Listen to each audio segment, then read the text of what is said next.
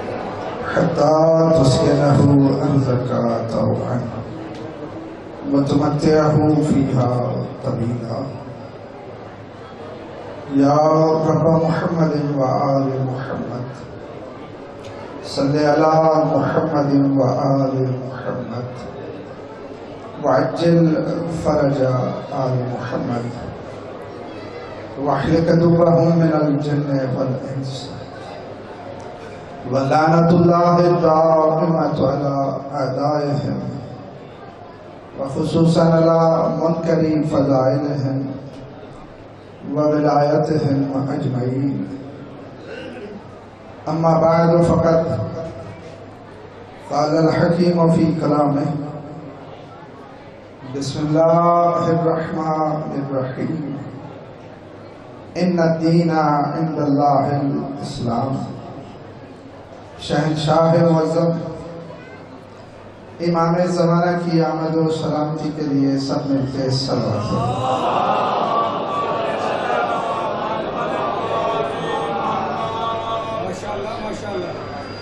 ऐसे नहीं। कभी भी सलवात को जहमत समझ के ना पढ़ा करो। जब भी पढ़ो इसे इबादत समझ के गुना दबाव से पढ़ा करो।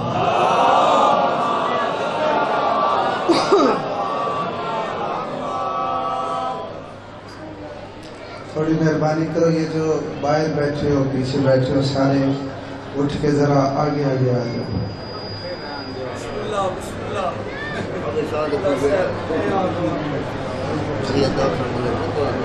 सलवात पढ़ो मोहम्मद मोहम्मद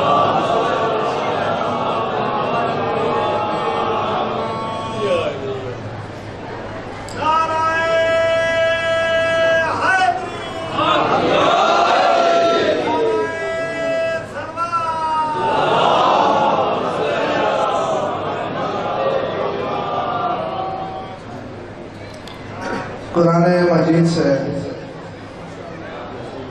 छोटी सी जो आयत मैंने पढ़ी है, इसमें खाले के कायनात ने अपना दीन बयान किया है कि इन दीन इस्लाम, अल्लाह के नज़दीक अगर कोई दीन है तो वो सिर्फ़ और सिर्फ़ इस्लाम है।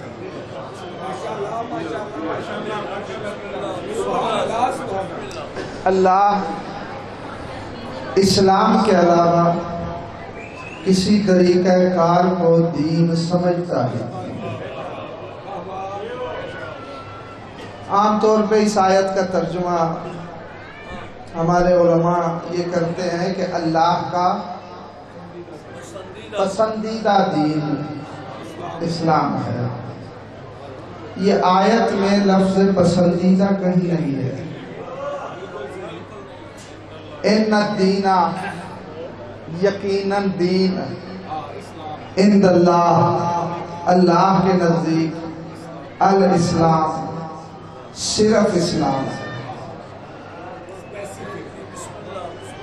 यानी इस्लाम के अलावा अल्लाह किसी तरीके को दीन मानता ही नहीं।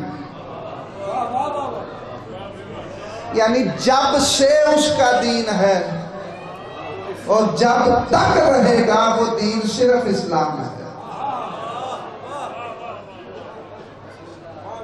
अच्छा ये अल्लाह का दीन कब से है? तलाश करेंगे कब से है दीन? आदम के बनाने से पहले,